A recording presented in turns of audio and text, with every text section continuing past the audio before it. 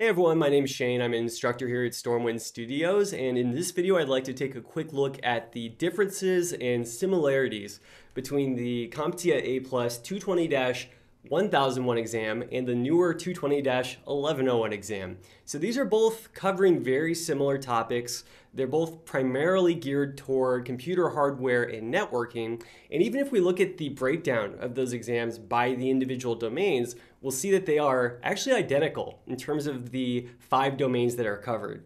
So if we look at 1001 at a high level, well, the five domains are mobile devices, networking, hardware, virtualization cloud computing, and network or hardware and network troubleshooting.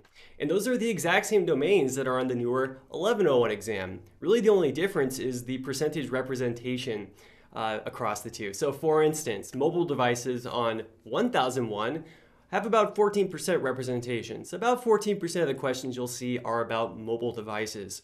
Whereas for 1101, it's now 15%.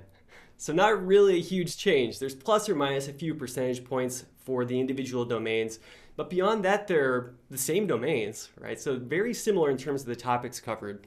The main difference between the exams is that the 1101 covers newer technologies and gets rid of some less relevant technologies.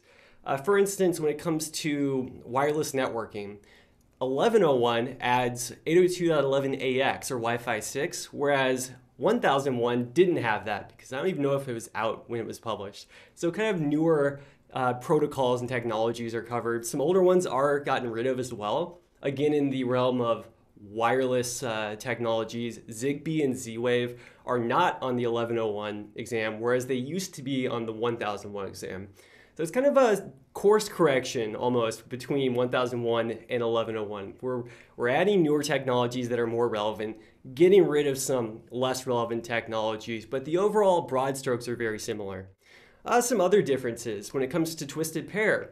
For 1001, it only went up to Cat 6, whereas for 1101, it goes to Cat 6a. So just one more technology that's getting a little bit more representation out there is now covered on the exam.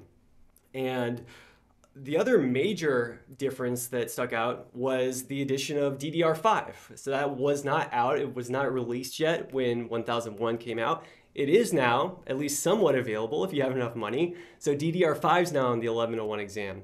And again, certain less relevant or more legacy technologies have been removed. So in that sphere of kind of RAM and all its related technologies, parity memory is no longer covered. It used to be the case for 1001 that you had to understand parity memory and error correcting code memory, but now it's just really error correcting code or non error correcting code memory. Don't have to worry about parity because it hasn't really been relevant for a long time.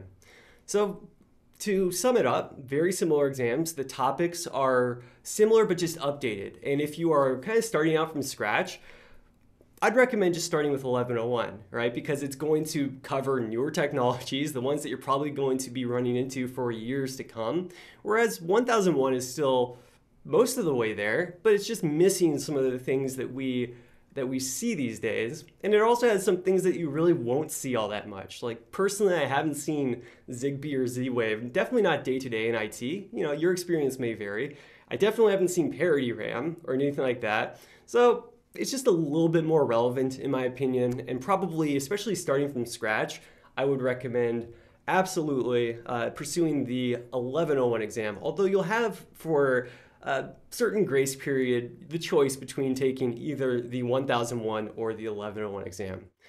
So thank you very much. Kind of a quick and easy video. The exams are, it's definitely an evolutionary process and you can't really go wrong with either one, but I would recommend the 1101, all other things being equal. Thanks.